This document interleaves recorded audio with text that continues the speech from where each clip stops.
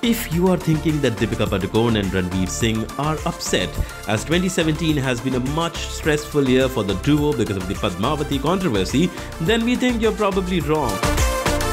As the lovebirds are off to Sri Lanka to ring in the new year.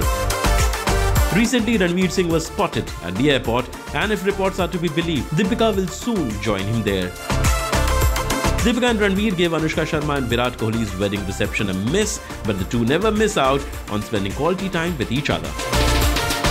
We won't be surprised to know if the two decide to tie the knot anytime soon.